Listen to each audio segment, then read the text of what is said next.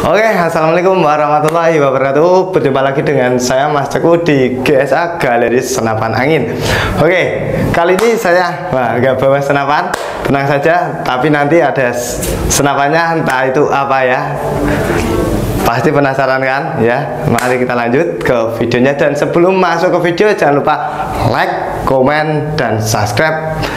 Biar apa? bantu bantu channel ini biar berkembang biar bermanfaat untuk para pemula gitu, di luar sana oke lanjut ke videonya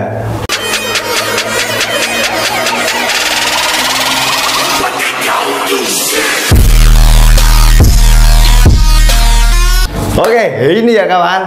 Tadi yang saya bilang ini senapan angin apa namanya? Kawan-kawan pasti udah tahu ini namanya AFC. Itu ya kawan. Air Frost. Ini ada tulisannya nah, Air Frost. Maklum lidah orang Jawa gitu. Ini senapan angin yang udah orang-orang udah pada tahu kegunaannya untuk apa gitu ya. Ini lah senapan big game. Rajanya big game gitu ya kawan. Ini sistemnya sistem tiup ya kawan.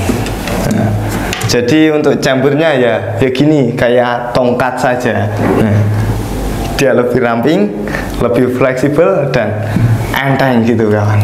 Ini dipegang enteng sih karena beratnya itu di bagian belakang. Karena belakang kan nanti di sandar pakai bahu. Jadi untuk bidikan itu dia nyaman nggak oleng gitu kawan. Jadi lebih mantap gitu kawan. Oke untuk ini saya bahas dari mulai dari mana ya? Dari laras saja ya kawan. Seperti biasa dari laras. Ini di ujung sini ada jerat untuk perdam. Ini biar suaranya enggak apa enggak kayak mercon atau enggak kayak bom suaranya. Karena kalau tanpa perdam itu suaranya menggelegar kawan. Nah ini ini ada pengganti pedam. Ini namanya kalau saya nyebutnya ini tutup laras kawan. Tutup laras tapi bolong. Nah, gimana itu ceritanya? Kan rada rada membingungkan. Ya gitulah untuk dratnya ini ukuran 12 nah, biar cari perdamnya gampang gitu ya.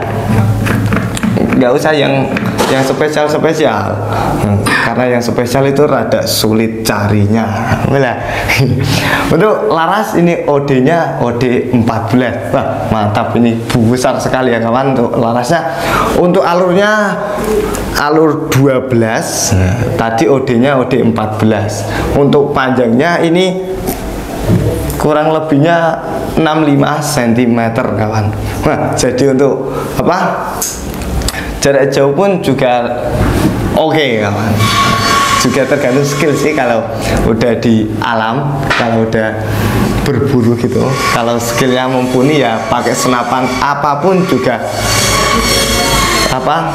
Juga pasti kena gitu kalau skillnya nggak mumpuni atau skillnya nggak terlalu jago itu mau pakai senapan apa pun pasti ada melesetnya gitu. Tapi ya menurut saya sih pakai ini itu enak.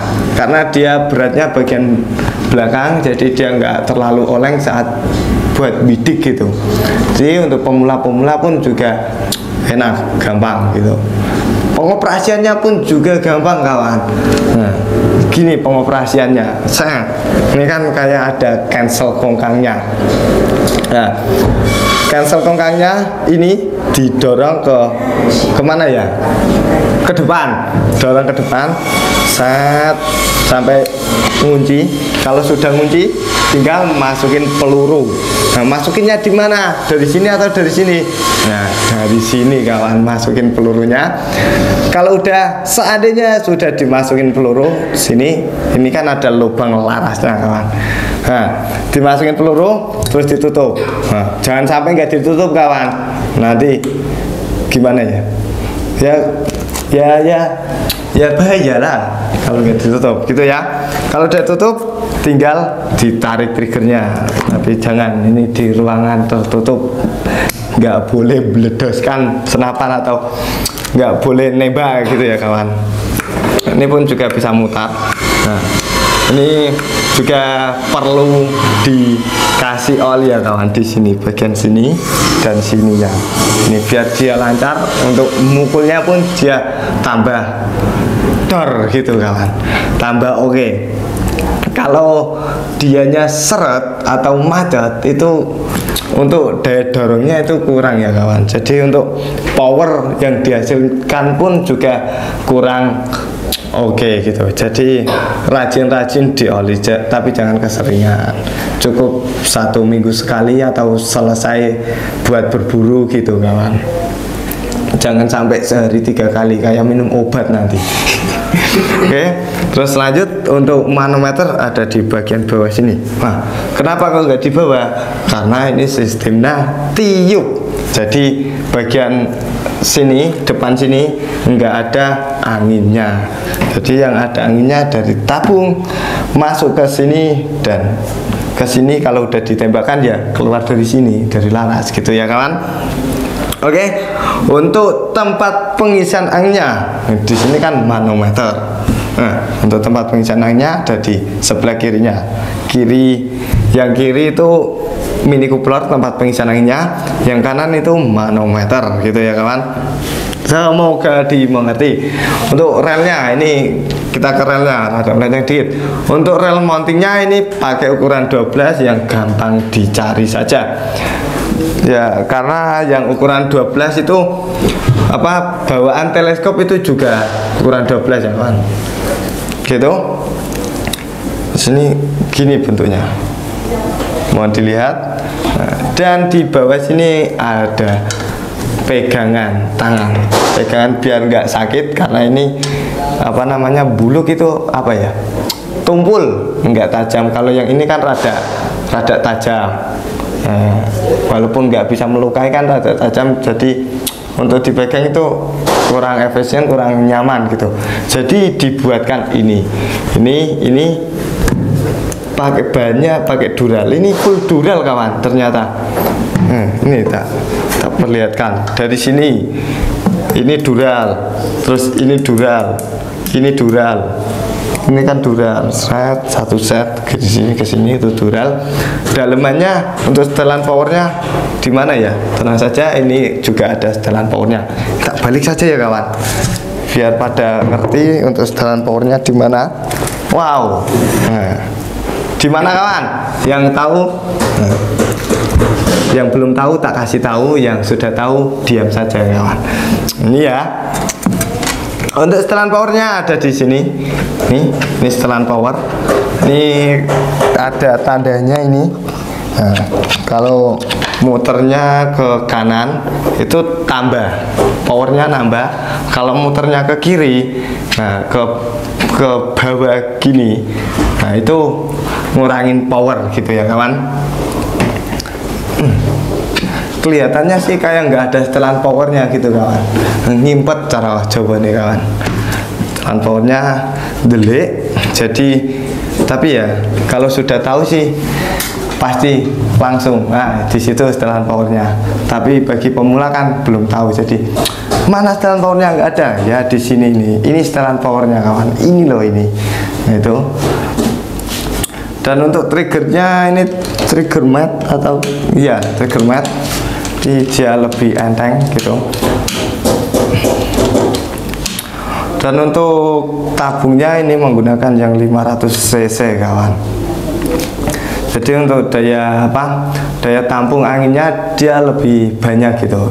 Cuman untuk tekanannya aman di 2700 psi kawan karena kalau kelebihan muatan itu rada bahaya kawan.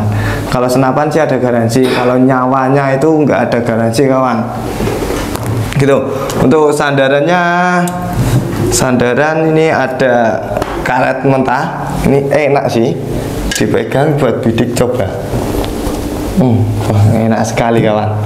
Buat bidik ini kan ada gimana ke atasnya gitu. Jadi untuk bidikannya ini empuk ya enak sih. Itu dan untuk sandarannya ini nah, pakai bukan karet ya ini plastik. Tapi sih ya enak-enak saja. Nggak terlalu keras gitu.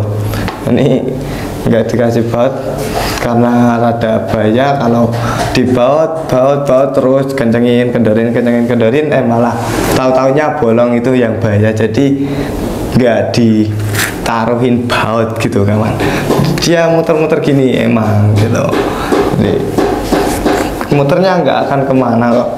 Buat buat nembak ini nggak nggak nggak ke depan ini ada kunciannya sini. Kalau ke belakang bisa langsung copot gitu. Nah, kalau nggak percaya ini. Ah ini pun juga dilapisi pakai apa namanya solasi atau di sana nyebutnya apa? Saya pun saya nggak tahu. Tolong kalau yang bahasanya beda selain solasi itu silakan di komen.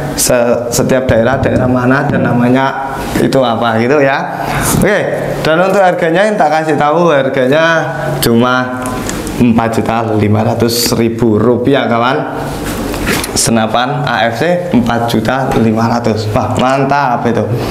Kalau kalau mau apa harga spesial langsung kunjungi nomor-nomor yang tertera di atas ini atau di atas ini ya. Itu yang pegang saya sendiri. Nanti kalau mau harga spesial nanti tak kasih. Harga bisik-bisik ya. Cuman kalau ini harganya 4.500 nanti kalau bos-bosnya mau ambil senapan ini tak kasih potongan gitu. Entah 100 200 300 400 500 siapa tahu dapat potongan 1 juta. Mantap ya. Gitu. Oke untuk cara pemesanannya bisa ada cara bisa transfer lunas dan bisa COD kalau transfer lunas barang dikirim setelah ada bukti transferan gitu ya kawan. Kalau sudah lunas pembayaran gitu kalau COD gampang sekali kawan. Bayar setelah barang nyampe plus bayarnya pun juga ke kurirnya. Jadi nggak usah transfer ke sini. Kalau nggak ada uang cash transfer saja ke kurirnya. Minta nomor rekening kurirnya kawan. Gitu. Untuk persyaratannya pun juga gampang sekali. Tanpa DP sepeser pun kalau foto apa? Persyaratannya tinggal foto KTP kalau apa KTP sesuai dengan alamat itu tanpa DP sama sekali. 0 rupiah atau 0 DP kawan. Jadi lebih aman sekali. Gak usah takut penipuan tenang saja kami bisa COD tinggal foto KTP sesuai dengan alamat terus barang segera diproses. Dan apa pengirimannya pun juga enggak nggak asal kirim gitu kawan. Di sini itu dites dulu dites akurasi dites kebocoran dan diuji dan dicek lain-lainnya kalau udah lulus dan siap kirim itu baru dikirim gitu ya kawan. Intinya dari sini ngasih yang terbaik untuk kawan-kawan di sana gitu ya.